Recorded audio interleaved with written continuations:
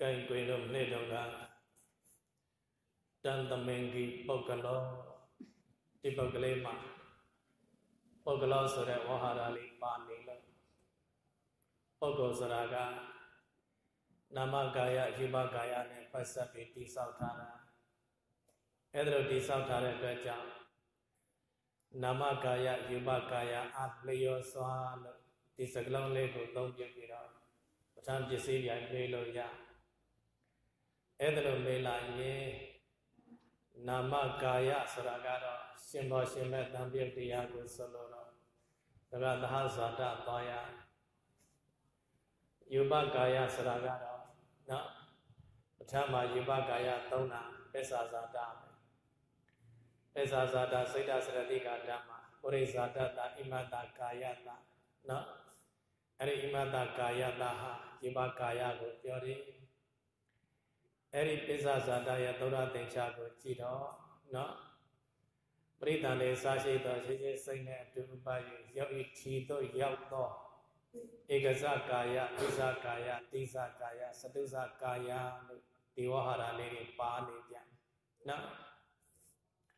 အဲ့တော့ဒီယူပကာယကို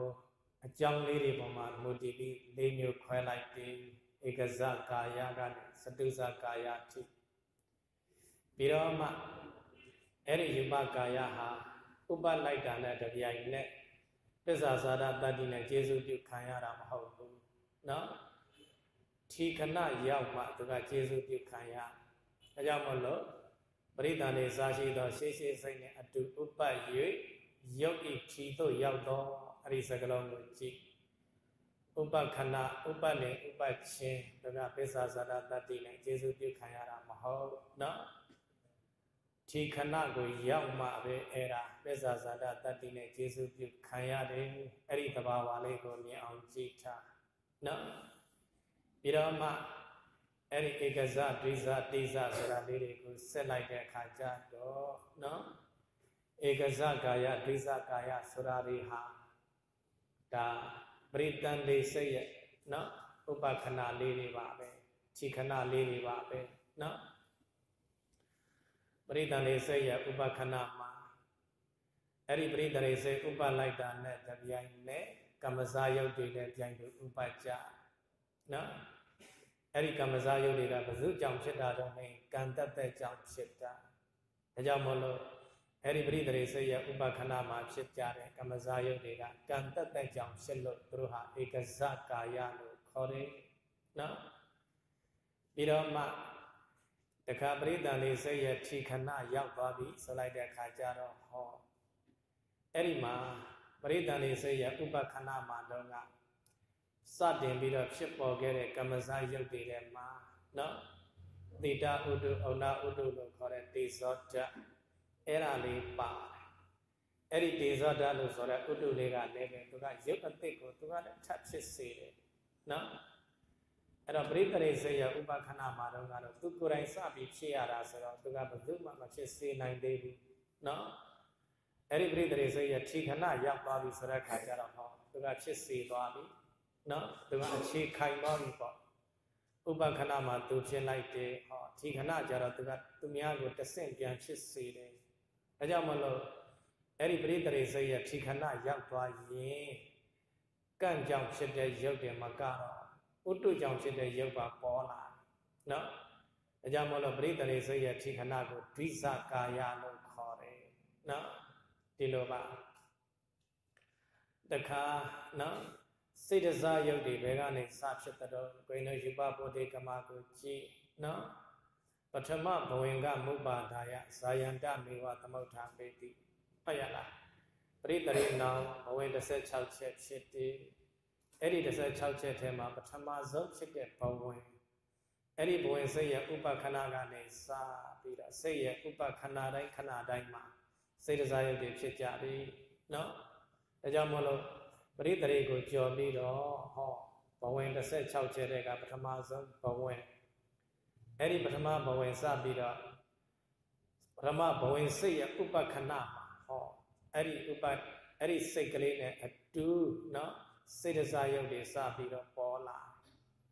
အဲ့ဒါလို့ဆိုရင်အဲ့ဒီချိန်မှာကြတော့ကမ္မဇယုတ်ဥဒုဇယုတ်စိတ်တဇယုတ်ဟောသုံးမျိုးပေါ်လာနော်ဒါကြောင့်မလို့တိဇကာယဆိုတာအဲ့ဒါပဲကံစိတ်ဥဒုကြောင့်ဖြစ်ပေါ်လာတာဒီတော့ရင်ဒီဧကဇကာယဒိဇကာယတိဇကာယဆိုတာတွေကပရိတ္တရေခိုက်တံပဲပရိတ္တန်လေးဝီချိပေါ့နော်အဲ့ဒီပရိတ္တရေဝီချိအခိုက်တံလေးမှာပဲအသုံးဝင်ပါတယ်ဟုတ်ရလား နော်အာဟာရဇလို့ခေါ်တဲ့ယုတ်ကတော့ဘယ်ကနေစဖြစ်အဇောဟရဏကာလီဘယ်လိုသိကြမှာနော်စာမျိုးအရာအခါကနေစဖြစ်တယ်တရေသားလေးမှာဆိုရင်တော့မိခင်ရဲ့နော်ချက်ကနေပြီးတော့ချက်ကျိုးချင်းဆက်ထားလို့မိခင်စားစားစားလိုက်တာနဲ့တပြိုင်နက်အဲ့ဒီချက်ကျိုးကနေတစ်ဆင့်ဆက်သွယ်ပြီးတော့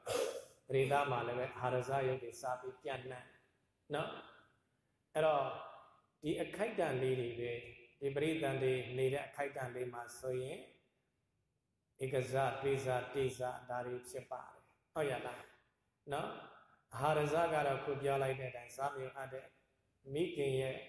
နော်အစာအာဟာရကိုရတဲ့အချိန်ကနေစပြီးတော့အာဟာရဇယုတ်တွေဖြစ်လာတယ်အဲ့ဒါဆိုရင်သူကစတုဇကာယဖြစ်သွားပြီပဲနော်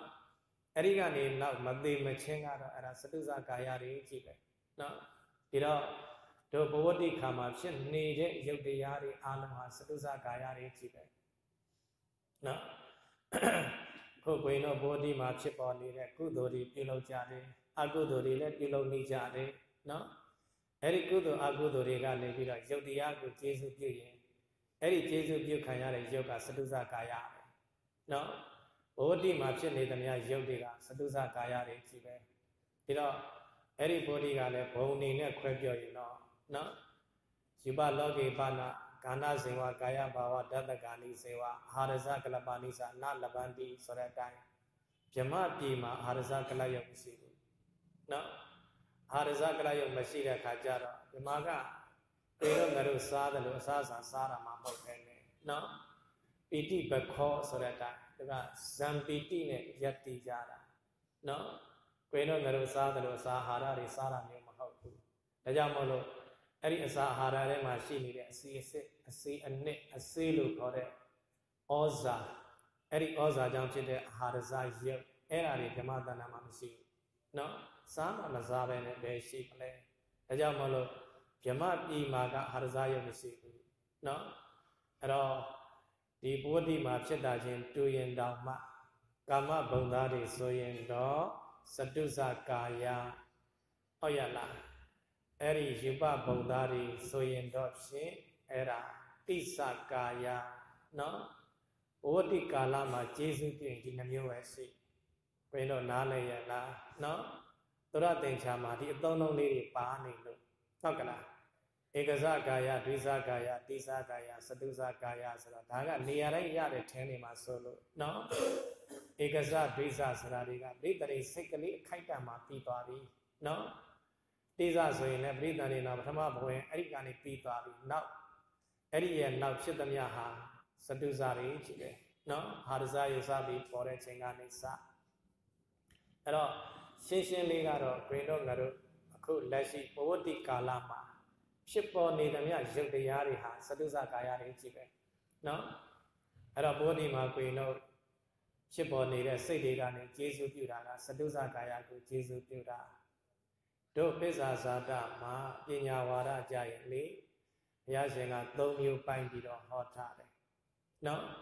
ကုသလောအဗျာကတတ္တအကုသလောအဗျာကတတ္တအဗျာကတောအဗျာကတတ္တဆို၃ပိုင်းပိုင်းဟောတယ်။နော်ကုသလောအဗျာကတတ္တဆိုတာကဒီဘောဓိခါမှာဖြစ်နေတဲ့ကုသိုလ်စိတ်တွေကနေပြီးတော့အဲ့ဒီယူပကာယကိုကျေစုပြုတာနော်အဲ့ဒါကိုကုသလောဗျာကတတ္တလို့ခေါ်တယ်။ အကုသလောဗျာကတတ္တဆိုတာကလည်းဒီဘောဓိခါမှာဖြစ်နေတဲ့အကုသိုလ်စိတ်တွေအဲ့ဒီအကုသိုလ်စိတ်တွေကလည်းဒီယူပကာယကိုကျေစုပြုနေတာနော်အဲ့ဒါကိုအကုသလောအပြာကတ္တလို့ခေါ်တယ်နောက်ဝိပတ်စိတ်ကရိယာစိတ်အဲ့ဒီစိတ်တွေကနေပြီးတော့မှဒီပရိတန်လေးခါမယောဘောဓိခါမယောဟောဝိပတ်ဆိုတော့ပရိတတွေကဝိပတ်စိတ်တွေလေနော်ပရိတန်လေးခါမယောဘောဓိခါမယောအဲ့ဒီကာလနှစ်ခုလုံးမှာဖြစ်နေကြတဲ့ဟော ဧကဇဒိဇတိဇစတုဇသူကြတော့၄ခုလုံးရနော်အဲ့ဒီကာယကိုကျေစုပြုတာကိုအဗျာကတော့အဗျာကတတလို့ခေါ်တယ်သူပဋ္ဌာန်းပညာဝါဒမှာနော်အဲ့လို၃ပိုင်းပိုင်းထားတာအဲ့တော့အဲ့ဒီ၃ပိုင်းနဲ့ကိုကြည့်နော်ကြည့်လိုက်ရင်ပထမဆုံးကုသလောအဗျာကတတဆိုတာကကုသိုလ်ကနေပြီးတော့စတုဇရှိပခာယကိုကျေစုပြုတာအဲ့တော့အဲ့ဒါကဘယ်လိုတုံးဆိုတော့ကိုင်တော့ငါတို့နော် ကြည့်ဟုတ်ကလားတွင်တော့ငါတို့ရဲ့တန်တာမှာကုသိုလ်စိတ်ဖြစ်ကြည့်လိုက်အောင်အခုဒီမှာစာတက်တဲ့ကုသိုလ်စိတ်ကလေးဖြစ်နေတယ်နော်စာပါတက်တဲ့ကုသိုလ်စိတ်ဖြစ်နေတော့တွင်တော့ရဲ့စိတ်တန်တာမှာမနောဒရဝိထိကိုခြားကြည့်နော်ဝိင်္ဂဇလနာဝိင်္ဂုပိစေတာမနောဒရဝိဇံမဟာကုသိုလ်သော9ကျိဟောဒီလိုကြနော် အဲ့ဒီမဟာကုသိုလ်သောခုနှစ်ကြိမ်ကြတယ်ဒါလေးကိုအာယုံပြုတာမျက်စိနဲ့မြင်အောင်ကြည့်ပစ္ဆာဇာတသဘောကိုပြောမလို့နော်ဝင်္ဂသလနာဝင်ကုပိစေတာမနောဒရဝေဇံပြီးတော့မှအဲ့ဒီမှာမဟာကုသိုလ်သောခုနှစ်ကြိမ်ဆောတယ်နော်အဲ့တော့မဟာကုသိုလ်ပထမဇောကနေစတာအဲ့ဒါမဟာကုသိုလ်အုပ်စုတွေပဲနော်အဲ့တော့ကိုင်းတို့ပစ္ဆာဇာတာဆိုတာရှေးရှေးစိတ်နဲ့ဟုတ်ကလားအတူဥပယွေအဲ့တော့ ကုသိုလ်ဇောရဲ့ရှေ့မှာဘယ်စိတ်ရှိသလဲကြည့်လိုက်နော်ဝိင်္ဂဆလနာဝိင်္ဂုပိစေတာမနောတာရဝိဇန်ရှိတယ်လေတလုံးမဟုတ်လားအဲ့တော့မနောတာရဝိဇန်နဲ့အတူဥပတ်နေတဲ့ယုတ်တရားလေးရှိနော်မနောတာရဝိဇန်ဖြစ်လိုက်တာနဲ့တပြိုင်နဲ့အဲ့ဒီမနောတာရဝိဇန်နဲ့အတူဥပတ်ပြီးဖြစ်ပေါ်လာတဲ့ယုတ်တရားရှိတယ်အဲ့ဒီယုတ်တရားကစတုဇယုတ်ပဲနော်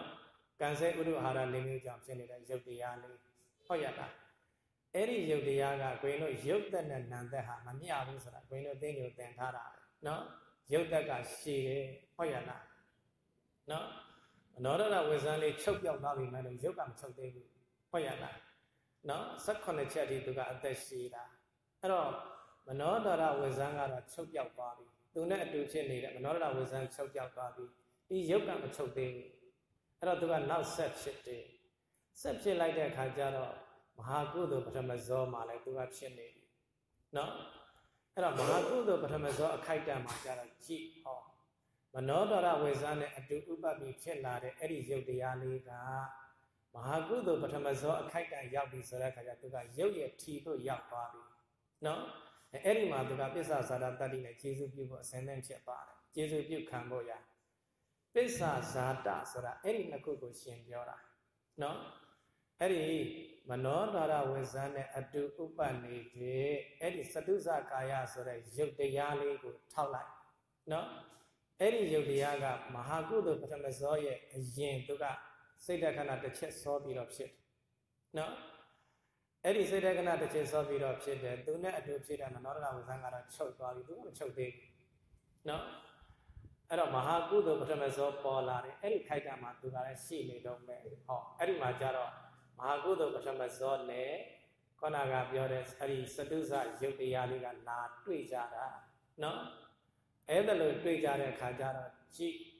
မဟာကုသိုလ်ပထမဇောလေးဟာ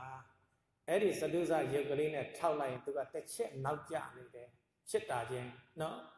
အဲ့ဒါလိုတစ်ချက်နောက်ကျနေတာကိုပစ္စာနောက်မှာဇာတဖြစ်နေတဲ့မဟာကုသိုလ်စိတ်ဒီလိုပြောတာနော်ဘဇုကိုထောက်ပြီးပြောတာတော့ဆိုတော့အဲ့ဒီရုပ်ကိုထောက်ပြောတာ မနောဒရဝေဇန်နဲ့အတူဥပတ်တဲ့ရုပ်တရားအဲ့ဒီရုပ်တရားကမဟာကုသိုလ်စိတ်ရဲ့အရင်သူကတစ်ချက်စောပြီးတော့ဖြစ်တယ်နော်မဟာကုသိုလ်ပထမဇောကအဲ့ဒီရုပ်ကလေးနဲ့ရှင်းလိုက်ရင်သူကတစ်ချက်နောက်ကျနေတယ်အဲ့ဒီနောက်ကျတာကိုပစ္ဆာဇာတာလို့ခေါ်တာနော်အဲ့တော့သူကရုပ်တရားကအရင်ဖြစ်တယ်သူကနောက်မှတစ်ချက်နောက်ကျပြီးမှဖြစ်တယ်သို့တော့အဲ့ဒါလို့နောက်ကျပြီးမှဖြစ်တဲ့အဲ့ဒီကုသိုလ်ဇောကလည်းပဲ သူ့အရင်တစ်ချက်စောဖြစ်တဲ့ရုပ်တရားကိုပစ္ဆာဇာတာတတ္တိနဲ့ကျေစုပြုတာနော်အဲ့ဒါကိုပစ္ဆာဇာတာပစ္စည်းလို့ဒီလိုခေါ်တာနော်အဲ့တော့နောက်ကအထောက်ပံ့ကိုရမှဒီရုပ်ကလေးတွေကလည်းပဲပို့ပြီးတော့အင်အားပြည့်ပြည့်နဲ့သူကရှင်တန်ခွင့်ရတယ်နော်။ဘာနဲ့လားတရံတူတော့ဆိုတော့တို့သစ်ပင်ပေါက်တယ်ဆိုတာနော်။တစ်စိတ်လေးကနေပြီးတော့အပင်ပေါက်တာပဲ။သို့တော့နောက်တော့ရေရဲ့အထောက်ပံ့လေးတွေလိုအပ်တယ်နော်။ ရေရဲ့အထောက်ပံ့ရလို့ရှိရင်ဒီသစ်ပင်ဟာစိမ့်နှမ်းနေတာပဲ။ရေရဲ့အထောက်ပံ့မရရင်ဒီသစ်ပင်ဟာညှို့နွမ်းသွားတာပဲနော်။အဲ့တော့ဒီစတုဇကာယကသူ့အကြောင်းနဲ့သူဖြစ်နေတာကံစိတ်ဥဒ္ဓအာရဆိုတဲ့သူ့အကြောင်းတရားနဲ့သူဖြစ်နေနေပြီးသားနော်အဲ့ဒါလိုဖြစ်နေနေပြီးသားဖြစ်တဲ့ယုတ်တရားကိုဒီမဟာကုသိုလ်ပထမဇောကနောက်ကနေပစ္ဆာဇာတတတ္တိနဲ့ထပ်ပြီးတော့ကျေစုပြုတ်ပေးလိုက်တဲ့အခါကျတော့ အဲ့ဒီယုတ်ကပို့ပြီးတော့စိမ့်လန်းပြီးတော့ပို့ပြီးတော့အသက်ရှင်သွားတယ်ဒီလိုပြောတာပါနော်ပို့ပြီးတော့စူပြေသွားတယ်ပေါ့ဟုတ်ကလားရေမရတဲ့အပင်က၆သွားတယ်လို့သူကကုသိုလ်ဆိုတဲ့ရေအထောက်ပံ့လေးရသွားတဲ့အခါကျတော့မ၆တော့ဘူးနော်အဲ့ဒီယုတ်တရားလေးကဆက်လက်ပြီးတော့အင်အားပြည့်ပြည့်နဲ့ဆက်ဖြစ်တယ်ပစ္ဆာဇာတဆိုတာဥပထမကတတ္တိသူကဖြစ်စေတာမဟုတ်ဘူးနောက်ကနေအထောက်ပံ့ပေးတဲ့တတ္တိပဲနော်အဲ့ဒါကိုပစ္ဆာဇာတလို့ခေါ်တယ်ဒီတော့ ဝိင်တို့မှတ်ထားရမှာကနော်ပစ္ဆာဇာတဆိုတာအဲ့ဒါပဲဟုတ်ကလားသူ့အရင်ဖြစ်နေနေတဲ့ရုပ်တရားလေးကိုထောက်ပြီးတော့သူဖြစ်လာတဲ့အချိန်မှာကျတော့သူကတဆင့်နောက်ကျနေတယ်အဲ့ဒါလို့နောက်ကျပြီမဲ့လို့သူ့အရင်ဖြစ်နေနေတဲ့ရုပ်တရားကိုသူကအထောက်ပံ့ပေးသောအပြင်ယေရှုပြုတယ်အဲ့ဒါကိုပစ္ဆာဇာတလို့ခေါ်တယ်နော်ဒီတော့အကုသိုလ်လည်းဒီတိုင်းပဲခွင်တို့ဟုတ်ကလား အကုသိုလ်စိတ်ဖြစ်တဲ့ခွင်တို့ဒီတိုင်းပဲဖြစ်တာပဲလေမနောရတဝိထိကတော့တူတူပဲကုသိုလ်ဇောနေရာမှာအကုသိုလ်ဇောလေးပြောင်းသွားတာပဲရှိနော်အဲ့တော့မနောဒရဝေဇံအခိုက်တံမှာစတုဇကာယလို့ခေါ်တဲ့ယုတ်တရားတွေဖြစ်ပြီးနော်အဲ့ဒီယုတ်တရားတွေကမနောဒရဝေဇံချုပ်သွားပြီမလို့သူကမချုပ်ဘူးရှိနေသေးတယ်ဟုတ်ကလားအဲ့တော့မအကုသိုလ်ပထမဇောဖြစ်လာတယ်အဲ့ဒီအခိုက်တံနဲ့သူကဖြစ်နေတော့မှယုတ်တရားကနော်အဲ့ဒါလိုဖြစ်နေတဲ့အခါကျတော့အဲ့ဒီမှာ မနောဒရဝေဇံနဲ့အတူဥပပြီးတော့ယုတ်ဤထီတို့ရောက်နေတဲ့အဲ့ဒီစတုဇကာယလေးနဲ့နော်ခုမှစပြီးဖြစ်ပေါ်လာတဲ့အကုသိုလ်ပထမဇောလေးနဲ့အဲ့ဒီမှာသွားတွေ့ကြတာပဲနော်အဲ့ဒါလိုတွေ့ကြတဲ့အခါကျတော့ဒီယုတ်နဲ့ဒီနာဟာအတူတကွရောနှောပြီးတော့များဖြစ်သလားလို့ယုံမတန်တရားဖြစ်เสียရှိလို့ဘုရားကပစ္စာဇာတဝိပယုတ်တဒီပစ္စည်းလေးဟောပေးတာနော် သူတို့နှစ်ခုဟာအဲ့ဒီအခိုက်အတန့်မှာလာပြီးစုံရပြီမဲ့လို့အတူတကွတော့မဟုတ်ဟုတ်ကလားဝိပယုတ်အနေနဲ့ပဲသူတို့ကဖြစ်ကြတာနော်ဘာဝိပယုတ်တုံးဆိုရင်ပစ္စာဇာတဝိပယုတ်အနေနဲ့ဖြစ်ကြတယ်ဒါပါပဲဒါကြောင့်မို့လို့အောက်ကလာရှေးရှေးစိတ်နဲ့အတူဥပ၍ရုပ်ဤထီတို့ရောက်တော့နော်စတုဇကာယလို့ဒီလိုကောက်ရတယ်အဲ့ဒါတွင်လို့ဘောတိမှာဖြစ်နေသမျှကိုဒီတိုင်းကောက်နော် ပရိသတ်လေးအခိုက်တမှာဆိုရင်တော့သူက၄ခုလုံးသွားမှာဟုတ်ကလားပရိသတ်လေးအခိုက်တမှာဆိုရင်တော့နော်ခဏကပြောတယ်လို့ပေါ့သူအခိုက်တလေးတွေသူအခိုက်တလေးတွေဟုတ်ရလားပရိသရေစိတ်ရဥပခဏမှာဖြစ်နေတဲ့ယုတ်တရားကနော်ဟောပရိသရေစိတ်ရထီခဏဆိုရင်သူကပစ္ဆာစာရတ္တိနဲ့ကျေစုပြုဖို့အစဉ်သင့်ဖြစ်လာနော်ဒါကြောင့်မို့လို့အဲ့ဒီပရိသရေအခိုက်တန်တွေမှာဆိုရင်တော့ဧကဇဒိဇတိဇစတုဇကာယလို့ဒီလိုဆိုရ အဲ့ဒီပရိသန်တွေဝိထိမဟုတ်တော့ဘူးဝင်တော့အခုတမယောကြဖြစ်နေတဲ့ဘောဓိကာလနော်ဘုရားရှင်တရားဟောတာဆိုတဲ့ဘောဓိကာလနော်လူတွေဆောင်ရွက်နေတာလဲဘောဓိကာလဝိနုငါတို့ကုသိုလ်တရားတွေစီးပူးနေတာဘောဓိကာလအဲ့ဒါလိုဘောဓိကာလဆိုရင်စတုဇကာယပဲနော်အဲ့တော့ဗြဟ္မာတွေဆိုရင်လာတိဇကာယပဲဟာရဇယုတ်မရှိလို့နော်ကာမဘုံသားမှန်ရင်တော့စတုဇကာယတွေကြီးပဲဟောဒီတော့ကိုယ်တို့ကြည့် အဲ့ဒီမှာပုဂ္ဂလောအရာယူပကာယကိုယူလို့ရှိရင်ဘယ်တော့ဒါလေးတရားနာထောင်နော်တန်တမင်ကြီးပုဂ္ဂလောဘာနဲ့ပြည့်စုံတာတော့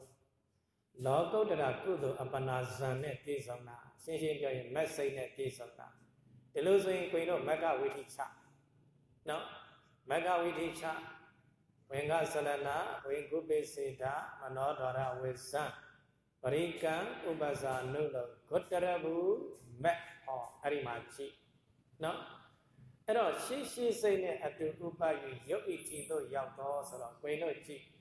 တန်တမင်ကြီးက message ကိုကောက်ထားတာလေအဲ့တော့ message ရဲ့ရှေ့ကဘယ်စိတ်ရှိတော့ဝိထိစဉ်လေးကြည့်လိုက်တော့ good တရဘူးရှိတယ်လေဟောဒါကြောင့်မို့လို့ good တရဘူးစာတော့ရှေးရှေးစိတ်နဲ့အတူဥပယူရုပ်ဣတိတို့ရောက်တော့ဒီလိုဖြစ်ပါတယ်နော် တို့ဟမှာပိစ္ဆာဇာတာဆိုထားတာကပရိသန်လေးစာရှိတော့ရှေးရှေးစိတ်နဲ့အတူဥပယူရုပ်ဣတိတို့ရောက်တော့ဆိုတာကကုသိုလ်ဝိပတ်ကရိယာသုံးခုလုံးပေါင်းပြီးဆိုထားတာနော်အဲ့ဒါလိုသုံးခုလုံးပေါင်းပြီးလုံးပြီးဆိုထားတာမဟုတ်လို့အဲ့လိုရတာအခုဒီမှာအဲ့လိုမရဘူးနော်ဒီတန်သမင်ကြီးဆိုတာကဘဝတိကာလမှာ message ဖြစ်နေတဲ့အခိုက်အတန့်ကိုပြောတာနော်ကာလကဘဝတိဖြစ်သွားပြီဆိုတော့ကိုယ်တို့သိကြတယ်ရုပ်ကတော့စတုဇကာယပဲနော် ဧကစမဟုတ်တော့ဘူးစတုဇကာယအေးရှေးရှေးစိတ်နဲ့အတူဥပ၍ဆိုတော့အဲ့ဒီရှေးရှေးစိတ်ကဘယ်စိတ်တုံးဒီလိုမေးရင်ပစ္စည်းတရားကိုလိုက်ကြည့်လိုက်ပစ္စည်းကဘယ်လိုကောက်ထားတာတော့နော် message ကိုကောက်ထားတာဒီလိုဆိုရင်မဂ္ဂဝိထိချနော်အဲ့တော့ပရိကံဥပ္ပစာနှုတ်လုံးဂုတရပုမဲဟောမဲ့ရဲ့ရှေးစိတ်ကဘယ်လိုတော့ဂုတရပုနော်ဒါကြောင့်မလို့ဟောဂုတရပု စသောရှေးရှေးစိတ်နဲ့အတူဥပ၍ယုတ်ဤထီသို့ရောက်သောစတုဇယူပကာယအာလို့ဒီလိုပြောရနော်ဒါကလုံးပြောလိုက်တာနော်ကာမဘုံသားဖြစ်အံစတုဇယူပကာယအာယူပပြမများဖြစ်အံတိဇယူပကာယအာဟောနော်ဘုရားကျေးဇူးပြုမှာတော့ပစ္စည်းတရားကဘယ်တော့ဆိုတော့ message လေးအကြောင်းမလို့ တန်တမင်ကြီးဤအရာ message တုပ္ပပစ္စည်းတရားသည်သူကနောက်မှဖြစ်တာနော်ဟုတ်ကလားပုဂ္ဂလောဤအရာကုတ္တရဘုသာသော ရှိရှိစိတ်နှင့်အတူဥပ၍ယုတ်ဤထီသို့ရောက်သောကာမဘုံသာဖြစ်အံစတုဇကာယယူပဗြမာများဖြစ်အံတိဇကာယပစ္စယုပံတရားအားပစ္ဆာဇာတပစ္စယတတ္တိဖြင့်ခြေစွပြုပါသည် အဲ့ဒါပြိုင်တာကတော့ထုံးစံမဲ့၄ပစ္စည်းပစ္ဆာဇာတပစ္ဆာဇာတဝေပြုတ်တနော်ပစ္ဆာဇာတ္ထိပစ္ဆာဇာတအာဝိကတဟောဒီလိုပါနော်အဲ့တော့ကုသိုလ်နဲ့လာရင်ဒီတိုင်းပဲအကုသိုလ်လည်းဒီတိုင်းပဲနော်ဘယ်တော့အကုသိုလ်နဲ့ပစ္ဆာဇာတကလည်းဒီတိုင်းပဲဟုတ်ရလားအဲ့တော့ကိုရင်တို့လောက်ရမှာကပစ္ဆာဇာတဟိဆိုရင်လေအဲ့ဒီပစ္စည်းတရားကိုကောက်ကြည့် အဲ့ဒီပစ္စည်းစိတ်ရဲ့ဖြစ်စဉ်ကိုဝိတိချကြည့်နော်အဲ့ဒီဝိတိချလိုက်ရင်အဲ့ဒီစိတ်ရဲ့ရှေးကဟာကအဲ့ဒါပစ္စယပံဖြစ်မှာပဲနော်အဲ့ဒီစိတ်ရဲ့ရှေးစိတ်နဲ့အတူဥပတ်တဲ့ယုတ်တရားကအဲ့ဒါပစ္စယပံပဲဟုတ်ကလားဘာလို့တော့ဆိုတော့သူကအရင်ဖြစ်နေနေတာလေဟုတ်ကလားသူ့ထောက်လိုက်တဲ့အခါကျတော့ပစ္စည်းတရားကနောက်မှဖြစ်တာစိတ်တဲ့ခဏတစ်ချက်လောက်နောက်ကျအဲ့ဒီနောက်ကျတာကပစ္စာဇာတာပဲနော် အဲ့ဒါလို့နောက်ကျပြီးတော့မှကျေစုပြုလို့သူ့ကိုပစ္စာဇာတာလို့ခေါ်ရတယ်အကုသိုလ်ဆိုလဲအဲ့ဒီတိုင်းပဲနော်ဝိပက်ကရိယာဆိုရင်တော့ဒါနည်းနည်းသတိထားရဟုတ်ကလားပရိသေစိတ်ဘာညာဆိုရင်တော့အဲ့ဒါတော့သူကဧကစပိစဒါတွေပါလာလေနော်အခုဒီမှာကတော့လွတ်လွတ်ကျွတ်ကျွတ်ကြီးပဲဟုတ်ရလားစတုဇကာယတစ်မျိုးတည်းပဲဟုတ်နော်ဒါကြောင့်မလို့ဟောဒီတန်တမင်ကြီးပုဂ္ဂလောမှာ ပုဂ္ဂလောကနာမကာယယူပကာယနှစ်မျိုးရှိတယ်နော်နာမကာယဆိုတာကနန္တရားအပေါင်းနန္တရားဆိုတော့နာမှန်သမျှလားဘယ်ဟုတ်မလဲတန်တမင်ကြီးကြည့်လေမက်စိတ်နဲ့ပြည့်စုံသောပုဂ္ဂိုလ်ဆိုတော့ဒီတန်ပြုတ်တရားတွေပါပဲမက်နဲ့ရှင်းနေတဲ့စိတ်စတသိက်တွေပါပဲနော်ဒါကြောင့်မို့လို့နာမကာယဆိုရင်တော့သဟဇာတာပြန်ရဟုတ်ရလား ယူပကာယဆိုရင်ပစ္ဆာဇာတာပြန်ရမယ်ဟောဒီလိုခွဲပြန်ရမှာနော်ဟုတ်ကလားအဲ့ဒါလို့ဥစ္စကကလူချင်းရင်တော့သူကမေးကြတဲ့ကိုကပုဂ္ဂလောဤအယနာမကာယယူပကာယအလျောစွာဒီလိုထည့်မေးရလဲနော်အဲ့လိုမှမမေးပဲနဲ့တန်တမင်ကြီးနဲ့ပုဂ္ဂလောကိုပြိုင်ခိုင်းရင်တော့ရိုးရိုးသဟဇာတာပဲပြိုင်ပါပဲဟုတ်ကလားဘာလို့တော့ဆိုတော့ တန်တမင်ကြီးကလည်းပဲမက်ဆေ့ရနော်မဲ့အပနာဇံစိတ်ရပုဂ္ဂလောကလည်းပဲမဲ့အပနာဇံစိတ်ပဲလေဝိသေသနာဝိသေတရားအရာတူရတယ်ဟုတ်ကလားအဲကြောင့်မို့လို့ကြည်ကွင်တော့ကိုဒီမှာရှင်းအောင်လို့နှစ်ခုပြောလိုက်အောင်မယ်နော်တန်တမင်ကြီးကသောဟူ၍အနတ်ပေးသောကြောင့်ပုဂ္ဂလော၌သဟဇာတပစ္စည်းပုဂ္ဂလောကသဟဇာတပစ္စယုပံဆိုတာအဲ့ဒါတမယိုးကြဟုတ်ကလား လုံနေကြအတိုင်းလေးနဲ့ဆက်လိုက်တာအရာကောက်ရင်လည်းပဲအဲ့ဒါဒီ message တုပ်ပတ်ကိုပဲကောက်မှာဒီတော့ကြည့်တန်တမင်ကြီးဤအရာနော်အောက်ကလာမဲ့အပနာဇံနော်ပစ္စည်းတရားသည်ပုဂ္ဂလောဤအယရင်းသည်ခြင်းအပ်သောတံပယုတ်နာမခန္ဓာပစ္စယုပ္ပံတရားအားနော်သဟဇာတာတိပစ္စယတတိဖြင့်ခြေစုပြုပါသည်နော် အဲ့တော့နန္ဒီနံအားဆိုတော့နံငိမ့်6ပစ္စည်းကိုကြည့်လိုက်ပစ္စည်းကလောကုတ္တရာကုသိုလ်အပနာဇံဒီထိကောက်ထားတယ်ဆိုရင်ဝိတက်စားတဲ့တရားတွေပါနေတော့ဟောအိဇာမက်ဒီသုံးလုံးရနော်ဒါကြောင့်နိုင်ရင်း6ရဲ့အငယ်တဲ့ကအိဇာမက်ပေါင်းလိုက်ကိုပစ္စည်းအဲ့ဒါကိုပစ္စည်းတတ္တိဖြင့်ကျေစုပြုပါသည်လို့ဒီလိုပြောရဒါက ဘာဝိသေသနာမှာမပါရင်ဒီတိုင်းပြန်ရတယ်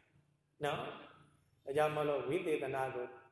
နောက်မှမှတ်မယ်တမယိုးကြလေးကိုအရင်မှတ်အောင်မယ်နော်ကဲခေါင်းစည်းတပ်ပါလေးတန်တမင်ကြီးအပေါင်းပုဂ္ဂလော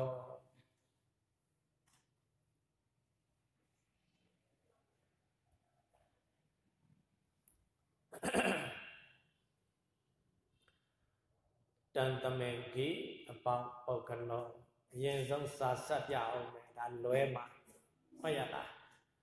ကဲစာဆက်လိုက်တန်တမင်ကြီးက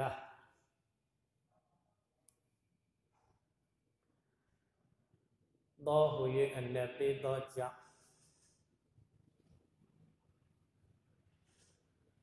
ပုဂ္ဂလော၌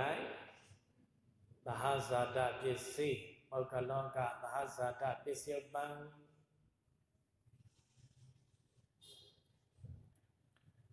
အဲ့ဒါသမယုကြပစ္စည်းပြိုင်တယ်လို့ခေါ်တယ်နော်အဲ့ဒီပစ္စည်းပြိုင်လေးတိုင်းပြိုင်ကြရမယ်ကဲအောက်ကနေရေးတန်သမင်ကြီးဤအယ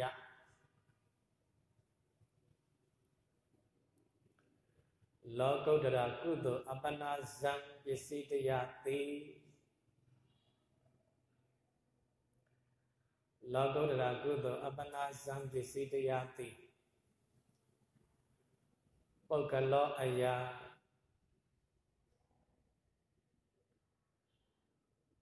ယင်းသည်ကျင်အပ်သော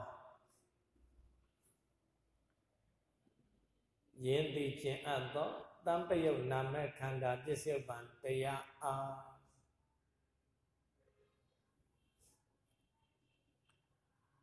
တံပယုတ်နာမခန္ဓာပစ္စုပန်တရားအားနော်ဘယ်တော့ပြန်ကြစို့လဟဇာတာတိပစ္စယတတ္တိဖြင့်ကျေစုပြုပါသည်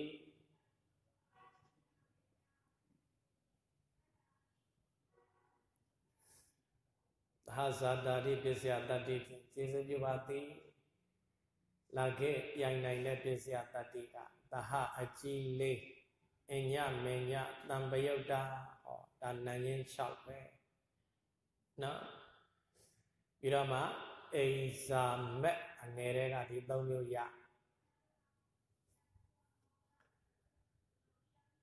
အညမညတံပယုတ်တာအိဇာမက်ပေါင်း ကိုပစ္စယတတ္တိဖြင့်ကျေစုပြုပါသည်ဟောအဲ့ဒါဘာဝိသေဒနာမှမပါရင်ဒီတိုင်းဖြေရနော်ဒါလေးကသမယောကြလေးပဲအဲ့တော့ဩစကားကနော်ပစ္ဆာဇာတလိုချင်ရင်တော့အဲ့ဒါဝိသေသနာမှာရလိမ့်မယ်နော်ဒါကြောင့်နောက်တစ်မျိုးကိုတော့မေခွန်းလေးနဲ့မှတ်ရဟုတ်ရလားနော်ကဲမှတ်လိုက်ကြဆိုရက် ပုဂ္ဂလောဤအယ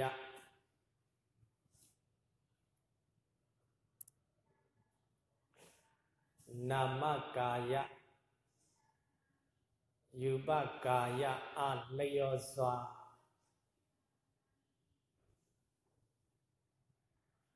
နာမကာယယူပကာယအလျောစွာကျေစုပြုနိုင်သောပစ္စည်းနှင့်ပစ္စည်းတရားနှင့်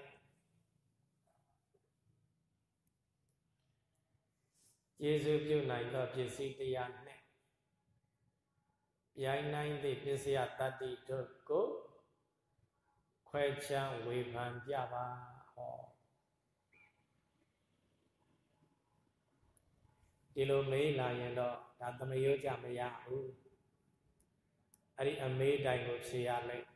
နော်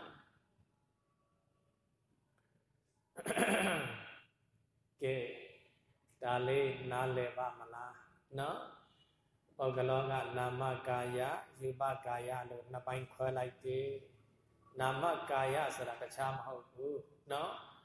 ပစ္စည်းတရားနဲ့အတူဖြစ်နေကြတဲ့နံတရားတွေနံတရားတွေနော်အဲ့ဒါကိုနာမကာယဟုတ်ကလားနော်ယူပကာယဆိုတာကတော့အရင်ဖြစ်နေနေတဲ့ရုပ်တရားတွေဟောဒီလိုပါနော်အကြောင်းမလို့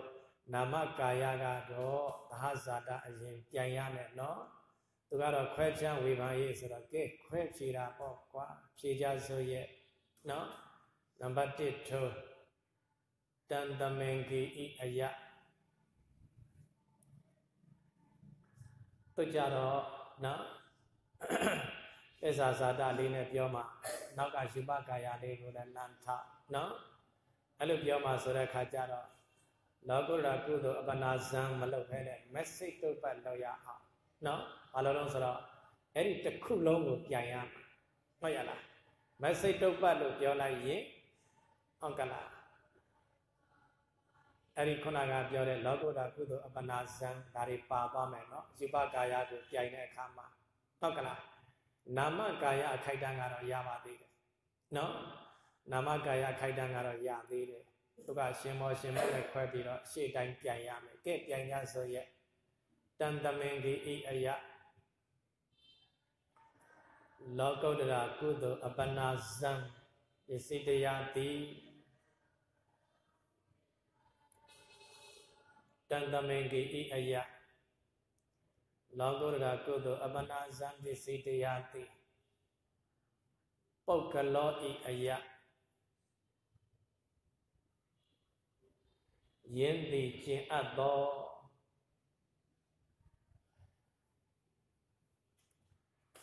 ယင်းသည်ကျင်အပ်သောတံပယုတ်နာမခန္ဓာဟုဆိုအပ်သော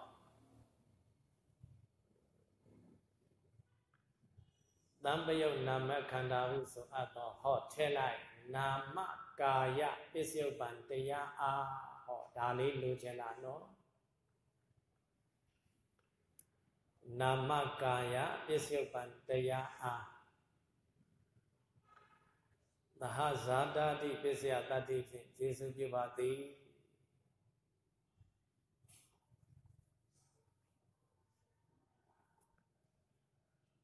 နော်ဒါကတော့မဆမ်းဘူးဟောရှေ့ကဟာနားလည်ရင်ဒါနားလည်ပြိုင်တာလဲကိုပစ္စည်းပြိုင်တာကသဟအကြီးလေးအညမညာ တံပယုတ်တအိမ်ဇာမဲ့ပေါင်းကိုပစ္စည်းတို့ဖြင့်ကိုပစ္စယတတ္တိတို့ဖြင့်ယေရှုပြုပါသည်ဘယ်တော့ကတော့အိမ်ဇာမဲ့ပေါင်းကိုသင်္ချာလေးကတော့ရေးရဓမ္မကဏ္ဍကနော်ဘယ်နှပစ္စည်းရှိတယ်ဆိုတာမှတ်ရလားစိတ်ထဲအာယုံပြုလို့ရကိုပစ္စယတတ္တိတို့ဖြင့်ယေရှုပြုပါသည်ဟောအဲ့ဒါနာမကာယကိုယူရင်အဲ့ဒါလိုပြန် နော်ကဲလာခဲ့ယူပကာယယူပကာယကိုယူခြင်းရင်နော်သူကရှေ့စိတ်နဲ့နောက်စိတ်ဆိုတော့စိတ်ကိုပဓာနာပြုတ်ထားတယ်အဲကြောင့်မို့လို့လောကောဓာကုသိုလ်အပနာဇံမလုပ်နဲ့ message တုပ်ပတ်ကိုယူလိုက်နော်တူတူပဲလောကောဓာကုသိုလ်အပနာဇံဆိုတာကအဲ့ဒီ message တွေဖြစ်တဲ့ခိုက်တံမှာပါနေတဲ့ဒီဟာလေးတွေကိုပြောနေတာနော် ဒါကြောင့်မလို့ဟောနံပါတ်1ထိုးရအောင်တန်တမင်ဒီအယ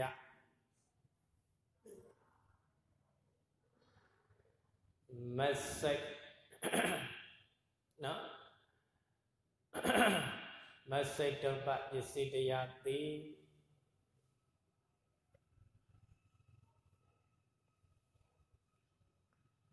မက်စိတ်တုပ္ပပစ္စည်းတရားတိ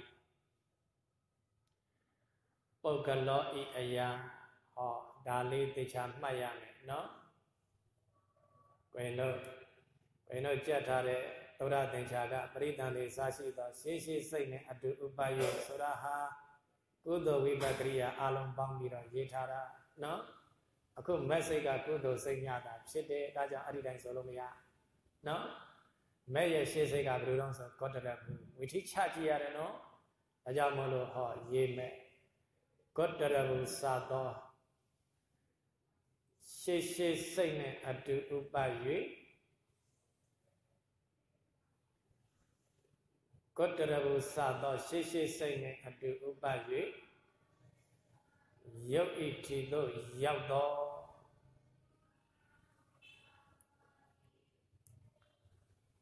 ကောတရဘုဇာသောရှေရှေစိတ်နဲ့အတူဥပ၍ယုတ်ဤထီသို့ရောက်သောဒါလို့မဟုတ်လား ကဲတိတိကျကျပြောလိုက်ရအောင်ပါနော်ကာမဘုံသာဖြစ်အပ်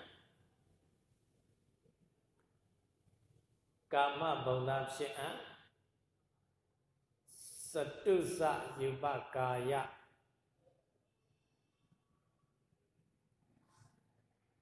ကာမဘုံသာဖြစ်အပ်စတုစယူပကာယဟုတ်ရလားယူပပြမများဖြစ်အပ်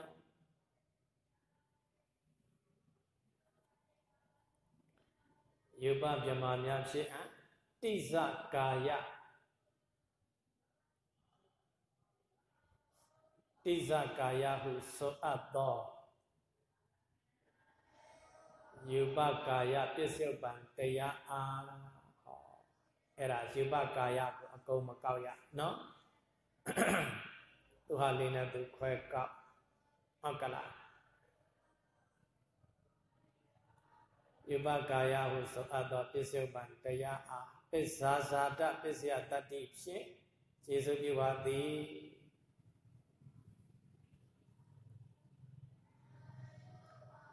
ဟုတ်ရလားပစ္စုပန်တရားကနေထောက်လိုက်တာနော်ပစ္စုပန်တရားကနေထောက်လိုက်ရင်သူကစိတ်တက်ကဏ္ဍတစ်ချက်နောက်ကျအဲ့ဒါပစ္ဆာဇာတပဲနော်ပစ္ဆာဇာတပစ္စယတတ္တိဖြင့်ကျေစုပြုပါသည် ပြိုင်နိုင်သည့်ပစ္စယတတ္တိများကပစ္ဆာဇာတပစ္ဆာဇာတဝိပယုတ်တပစ္ဆာဇာတထိပစ္ဆာဇာတအာဝိကတာရိုးရိုးရေးရင်တော့လေပစ္ဆာဇာတဝိပယုတ်တအထိအာဝိကတာပေါ့နော်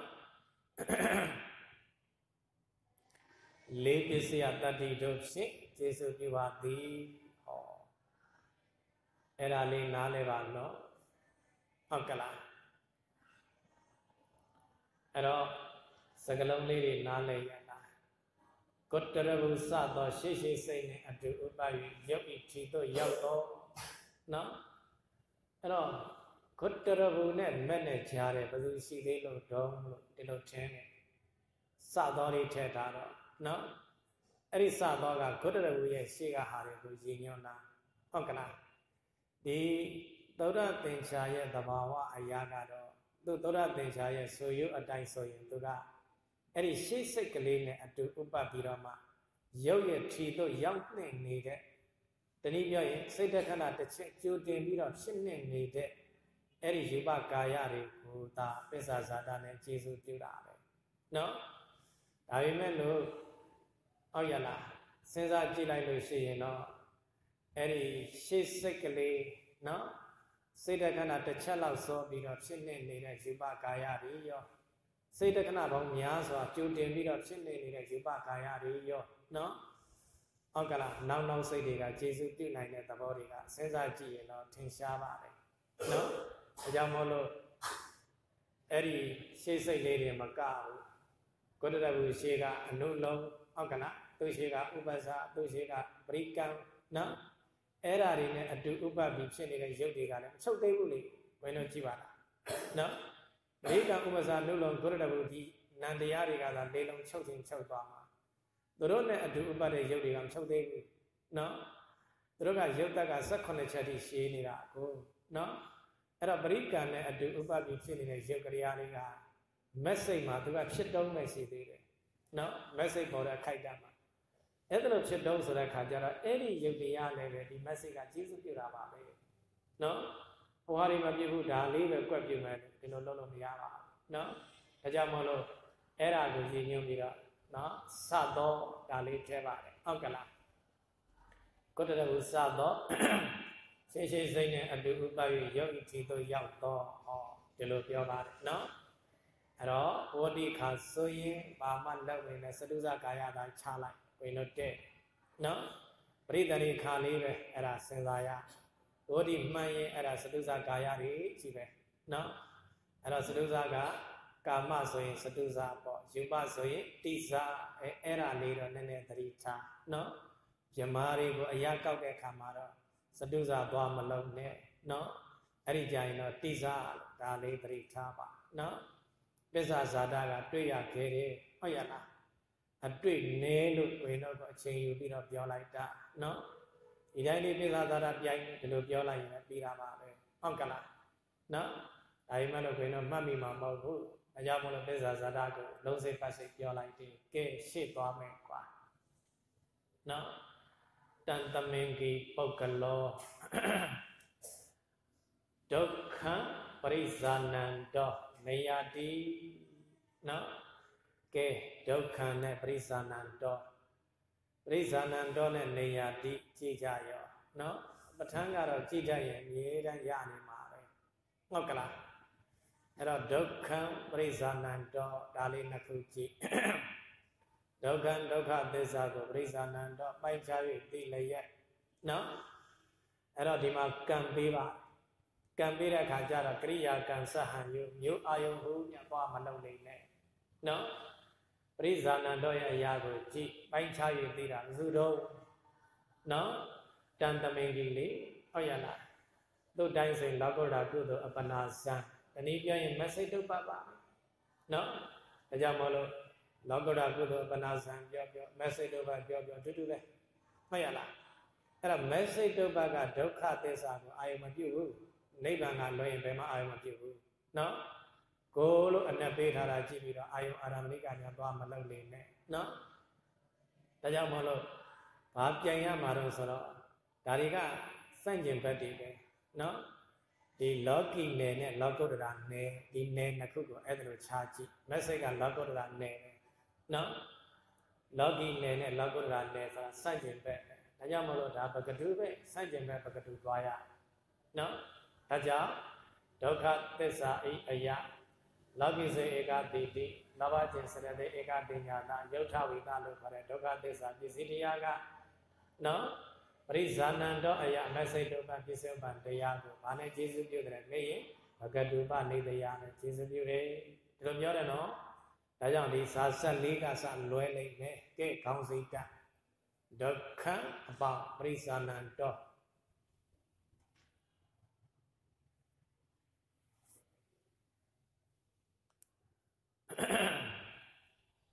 စာဆက်ကလေးကိုအရင်မှတ်လွဲမဲ့နေရာတော့စပ်ပြီးမှာပဲနော်ဒုက္ခံကကိုဟူ၍အနက်ပေးသောကြောင့်ပရိဇာနန္တော၌ပဂရုပနေတယပစ္စည်းပရိဇာနန္တောကပဂရုပနေတယပစ္စယပံ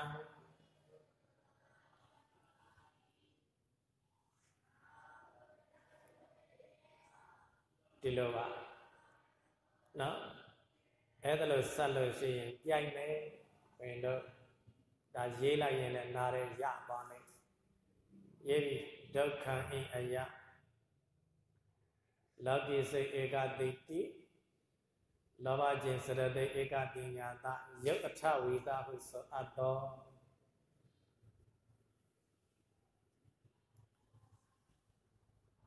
ယုတ်အထဝေတာဟုဆိုအပ်သောဒုက္ခသစ္စာပစ္စည်းတရားသည်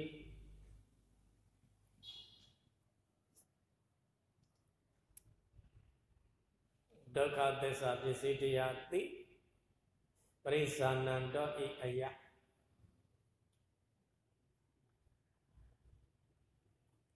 အ내တိုင်းဆိုရင်လောကုတ္တရာကုသိုလ်အပနာဇံ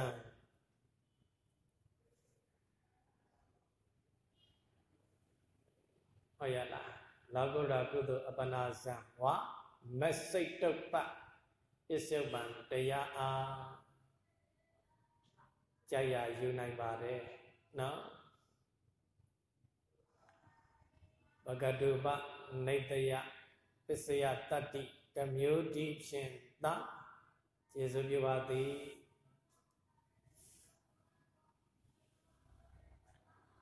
ဘ ဂရုပနေတယပစ္စယတတ္တိတမျိုးဒီဖြင့်သာကျေစုပြုပါသည်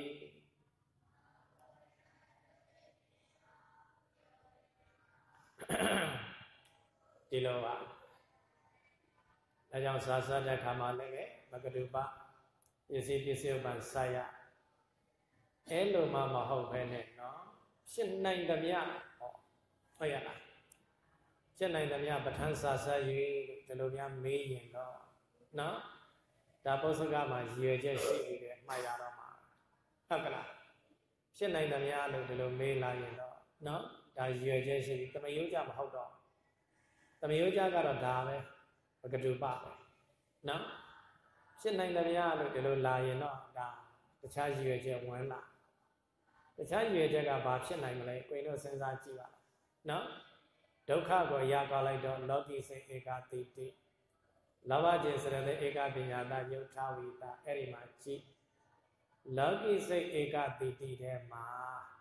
နော်ဂုတ္တရဘူးလို့ခေါ်တဲ့ဝိပဿနာဉာဏ်တရားလေးပါဂုတ္တရဘူးကိစ္စတတ်တဲ့ဝိပဿနာဉာဏ်ကလောကီထဲမှာပါတယ်နော်အဲ့တော့ကိုင်းတို့မဂ္ဂဝိထိချကြည့်ပါလားနော် ဘင်္ဂဇလနာဘင်ကုပိစေရမနောဒရဝေသပရိကံဥပ္ပဇာနုလောဂုတ္တရဘူးအဲ့ဒီဂုတ္တရဘူးကိစ္စတတ်တဲ့ဝိပဿနာဉာဏ်ဟာဘာစိတ်တုံးနေရင်လောကီစိတ်နော်မဟာကုသိုလ်ပဲညာနာတံပြည့်ပဲလေမဟာကုသိုလ်ညာနာတံပြည့်ဆိုတော့သူကလောကီစိတ်ဧကတိတိထဲမှာသူပါနေတာကိုင်းတော့မြင်ရလားနော်လောကီစိတ်ဧကတိတိထဲမှာသူပါနေတယ်ဒါကြောင့်မို့လို့အဲ့ဒီ လောကီစိတ်ဧကတိတိလို့ခေါ်တဲ့ဒုက္ခသစ္စာရဲ့အရာကိုကောက်တဲ့အခါမှာနော်ဂုတ္တရဘုကိစ္စတတ်သောမဟာကုသိုလ်ညာနာတံပြုတ်စိတ်ဒိကုဆိုအပ်သောဝိပဿနာဉာဏ်ပစ္စည်းတရားသိပရိဇာဏံတော်ဤအရာမက်ဆေ့တုပ္ပပစ္စယပံတရားအားဆိုတော့ကိုင်းနဲ့ပြောကြည့်ပါလားဘယ်လိုလုပ်ပကတုဖြစ်နော်ဟုတ်တယ်မဟုတ်လားပရိကံဥပ္ပဇာနုလုံဂုတ္တရဘုပြီးတော့ဘာဖြစ်လဲမဲ့ဟော ရားထဲမှာဘာအခြားကွယ်မှမရှိဘဲနဲ့အနန္တရတတ္တိနဲ့ခြေစုပ်ပြုလိုက်တာတွေ့ရလားနော်ဒါကြောင့်မို့လို့ဝိပဿနာဉာဏ်ကိုယူရင်အဲ့ဒါအနန္တရနဲ့ခြေစုပ်ပြုရတယ်နော်အဲ့ဒါလို့ဆိုရင်တော့ဒုက္ခသစ္စာကကိုဟူ၍နတ်ပြီးသောကြောင့်ပရိဇာဏံတော်၌အနန္တရပစ္စည်းပရိဇာဏံတော်ကအနန္တရပစ္စည်းပံဟောဒီလိုစနိုင်နော်ပြီးတော့မှ အဲ့ဒီဂုတ္တရဘူကိစ္စတတ်သောမဟာကုသိုလ်ဉာဏတံပြု၄ခုဟုဆိုအပ်သောဝိပဿနာဉာဏ်မှတပါကျွင်းသောလောကီစိတ်တုပ္ပနော်နာမခန္ဓာရုပ်တရားကိုယူရင်တော့အဲ့ဓာတွေအကုန်လုံးဟာဘဂတုလေးကြီးပဲနော်ကောရတဘူရှေးကနေပြီးတော့ဘယ်လိုရှေးမလဲအနုလုံအနုလုံနဲ့မက်ဆိုရင်ဂျားထဲမှာကောရတဘူခြားပါတယ်အဲ့တော့စိတ်တစ်ခုခြားမှုဘဂတုအဲ့ဒီကနေစ အဲ့ဒါရှေးကလောကီစိတ်တွေအကုန်လုံးဘဂတုလေးကြီးပဲနော်အဲကြောင့်မလို့ဟောရနိုင်သမျှဖြစ်နိုင်သမျှလို့နေရင်နှမျိုးဆက်ရမယ်နော်ဟုတ်ကလားနှမျိုးပြန်ရလဲဒါကြောင့်ဒီမှာစာတော့မဆက်တော့ဘူးကိုင်းတော့နှမျိုးတော့ခွဲပြန်ပေးလိုက်မယ်နော်ဒုက္ခနဲ့ပရိဇာဏံတော့ကိုဖြစ်နိုင်သမျှပဋ္ဌာန်းပစ္စည်းပြိုင်ပါဆိုရင်ဒီလိုပြိုင်ရလိမ့်မယ်ဟုတ်ရလားနော်ခေါင်းစည်းတက်တော့တနည်းခွဲ၍ပြိုင်လို့ခေါင်းစည်းတက်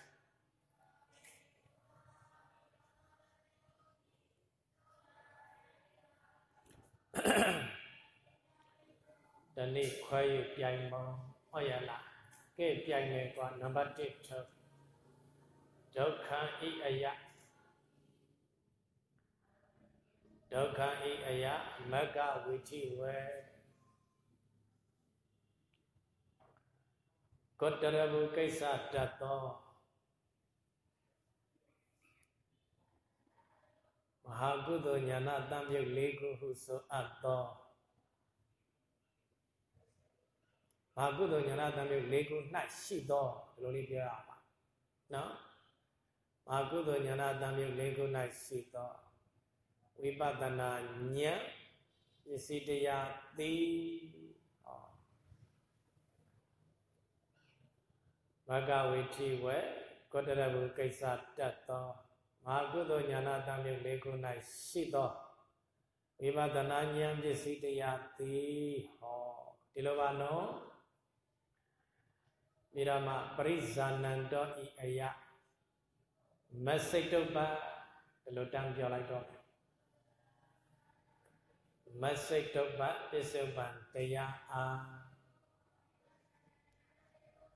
အနန္တရာတိပစ္စယတတ္တိဖြင့်ကျေစုပြုပါသည်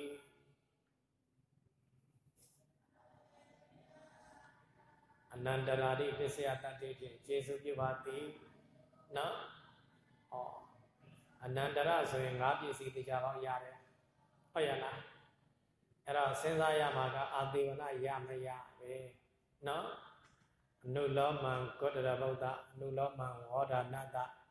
ဂုတ္တရဘူမကတဝေါဒနာမကတအာသေဝနာပစ္စေနာပစ္စယောနော်အနန္တရတွေမကဘူးအာသေဝနာလည်းရဟုတ်ရလားတံပါဠိတော်မှာအကြောင်းမို့လို့6ပစ္စည်းရရလိမ့်မယ်နော်ကဲ ရိုင်နိုင်သောပစ္စယတတ္တိများကအနန္တရသမနန္တရဥပနိတယ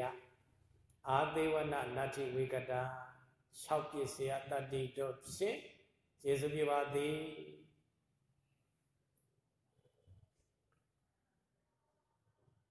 ဒါပဲဒါကဒုက္ခအယဝိပဿနာဉာဏ်ကိုယူလိုက်တာနော်ကဲလာခဲ့ဟေနံပါတ်2အောက်ကြောင့်ချလိုက် ဒုက္ခဤအယဝိပဿနာဉာဏ်မှကျွင်းသော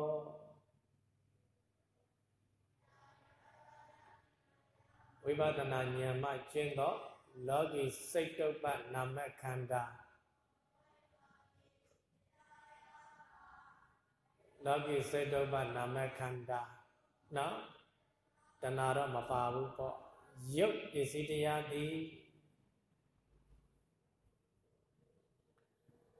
ရုပ်ပစ္စည်းတရားသည်ပရိဇာနန္တောအယမစေတုပ္ပပစ္စယပံတရားအားစိတ်တစ်ခုခြားသွားပြီနော်အဲ့လိုဆိုတော့ဘဂတုပနေတယပစ္စယတတ္တိဓမျိုးတိဖြင့်သာကျေစုပြုပါသည်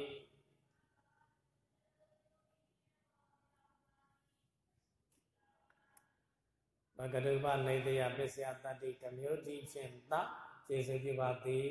ဟောဒီလိုပါထံကနားလည်ရင်တော့လည်းပြောစရာကောင်းပါတယ်စိတ်ဝင်စားစရာပဲသူ့အပိုင်းလေးတွေသူ့အပိုင်းလေးတွေနော်နားမလည်ရင်တော့လည်းဘာပြန်ရမှန်းမသိဟုတ်ရလားနော်ပဋ္ဌာန်းပစ္စည်းပြိုင်နားလည်ခြင်းရင်တော့သောရသင်္ချာကိုမဖြစ်မနေကိုရရတယ်နော်သောရသင်္ချာလောက်မှမကြက်ခြင်းပဲနဲ့တော့ပ ဋ္ဌာန်းပစ္စည်းကိုနားလည်ခြင်းလို့မရဘူးပဋ္ဌာန်းပစ္စည်းပြိုင်နော်ငါတော့ပြင်ပဋ္ဌာန်းပစ္စည်းပြိုင်နားမလဲဘူးကိုယ့်ကိုယ်ကိုသိရင်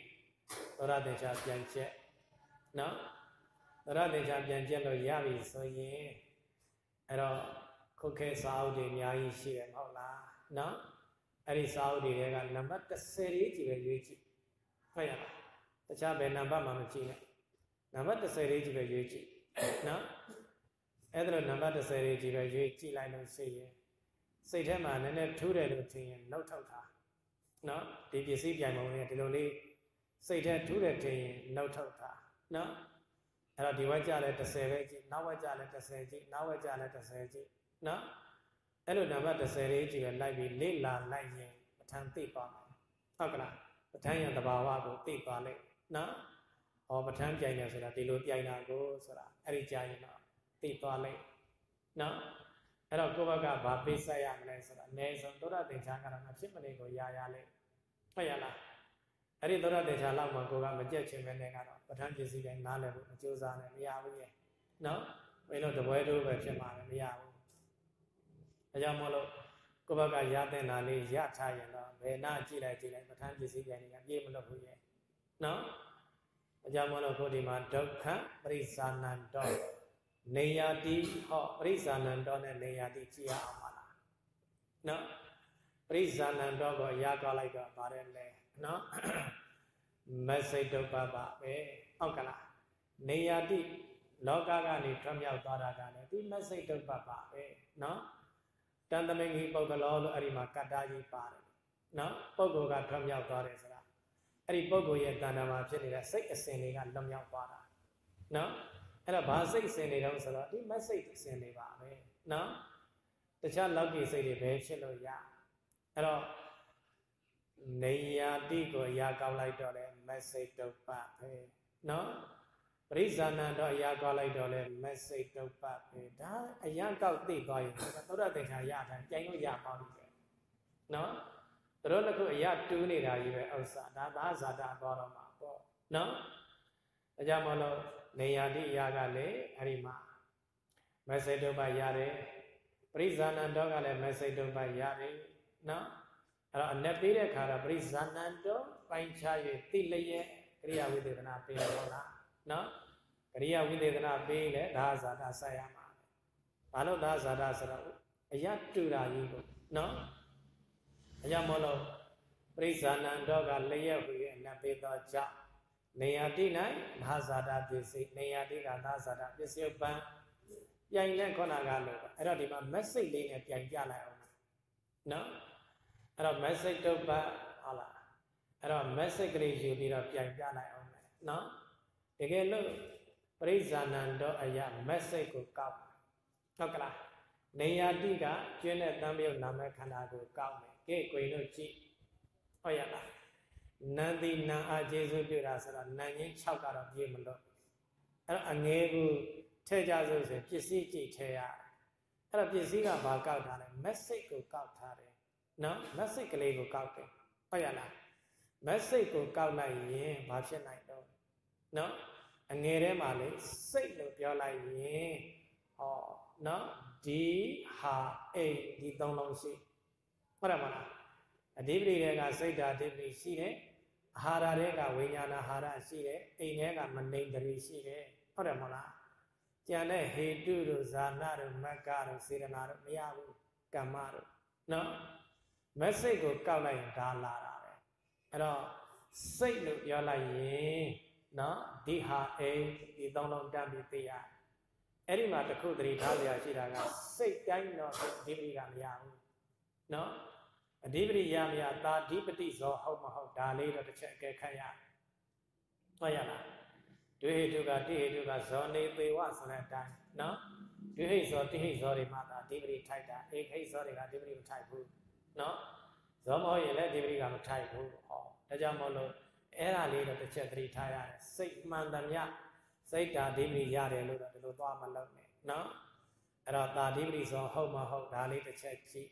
ဒါက message ဆိုတော့ပဲတိဟိဆိုယူသေးချာနေတာနော်ဒါကြောင့်မို့လို့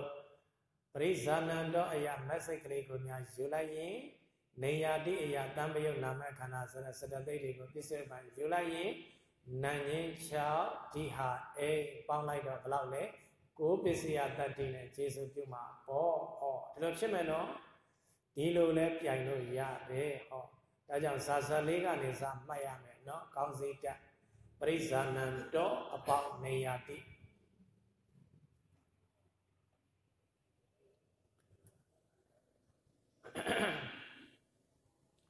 ပရိဇာနံတောအပေါင်းနေယတိဟုတ်ရလားစာဆက်လေးကစမှတ်ဒီမှာကရိယာဝိသေသနာလေးပေးထားလို့နော်မှတ်လိုက်ပရိဇာနံတောကလျက်ဟူ၍အနက်ပေးသောကြောင့် ပေးခြင်းတယ်လို့ပေးစာဆက်ကတော့အရာကောက်ကြည့်ဆိုင်ရတာနော်နေယာတိ၌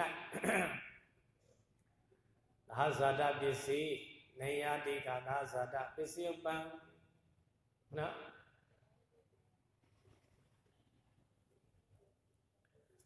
သာဇာတပစ္စည်းသာဇာတပစ္စည်းပံစပါလေးဟောရလားအဲ့ဒီသာဇာကြည့်ပြီးတော့ပစ္စည်းပြိုင်တော့မယ် ကဲမှတ်ကြစို့အော်တကြောင်ပရိဇာနန္တောဤအယမစိတ်ပစ္စည်းတရားသည်မစိတ်တုပ္ပကိုကောက်ခွင့်ရှိလို့နော်မစိတ်ကလေးကိုယူလိုက်တယ်မစိတ်ပစ္စည်းတရားသည်တကယ်လို့လောကုတ္တကုသိုလ်အပနာဇံကိုကောက်ရင်တော့ဘာမှမထူးဘူးဟုတ်ရလားရှေ့ကဟာလည်းဘာမှမထူးဘူးအဲ့ဒါကြောင့်မလို့အဲ့ဒါမကောက်တော့နော် ဒါလေးပြောင်းပေးလိုက်တယ်မစိတ်ပစ္စည်းတရားသည်နေယာတိအယတံပယုတ်နာမခန္ဓာပစ္စုပန်တရားအားစိတ်ဆိုတာစေတသိက်ပေါ့ဟောတံပယုတ်နာမခန္ဓာပစ္စုပန်တရားအားသာဇာတာတိပစ္စယတတိဖြင့်ကျေစုပြုပါသည်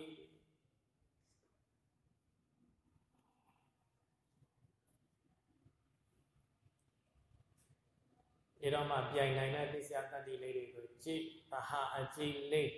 အညမေညတံပယုတ်တာနန်ရင်6ဆိုတာတော့ပြေမလွတ်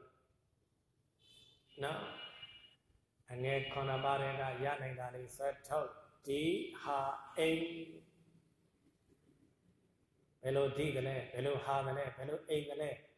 နားလည်ရမယ်နော်အောက်ကလာစိတ်ဓာဓိပတိ အောက်ကလာဝိညာဏဟာရမနိန္ဒရိဟောအဲ့ဓာတွေကြောင့်ရဒါကြောင့်ဒီဟာအိမ်ပေါင်းကိုပစ္စယတတ္တိတို့ဖြင့်ကျေစုပြုပါသည်ဒါပဲနော်အဲ့တော့ပရိဇာနန္ဒနေယတိနော်နောက်ကသမုဒိယံအကုန်လုံးပစ္စည်းကြိုင်လို့ရတယ်ဟုတ်ရလားသမုဒိယံပဇဟံတော့နေယတိနော် နိရောဓံသိစိကရုံတော့နေယတိမဂ္ဂံဘောင်းတော့နေယတိအကုန်ပြိုင်လို့ရတယ်ဟုတ်ကလားအဲ့ဒါအရာကောက်ကိုကိုကကောက်တတ်အောင်ကြိုးစားရ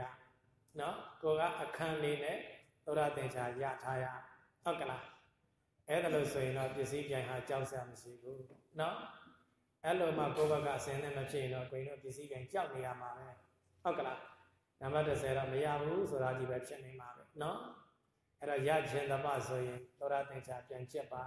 နော်သောရသင်္ချာကမေ့လို့မရဘူးကိုရင်တော့နော်ဆိုခြားရမပြီးမချင်းမေ့လို့မရတို့ဒီမှာစာချတာတော့ပြန်ကြည့်ရတာနော်ဝိနုချမယ်လို့တော့သောရသင်္ချာတို့မကြည့်လည်းမရဘူးနော်တို့တော့ပြန်ကြည့်ရသေးတာပဲဝိနုလည်းအဲ့ဒါပြန်ကြည့်အဲ့ဒါရမှကိုရင်တော့ပဋ္ဌာန်းပစ္စည်းတိုင်းကကျေစုပြုတ်လိုက်မယ်မရလို့ကတော့ပဋ္ဌာန်းပစ္စည်းတိုင်းကကိုရင်တို့ခက်ခဲနေလိမ့်မယ်နော်ကဲ ဒါကြောင့်ဆိုရက်ပါ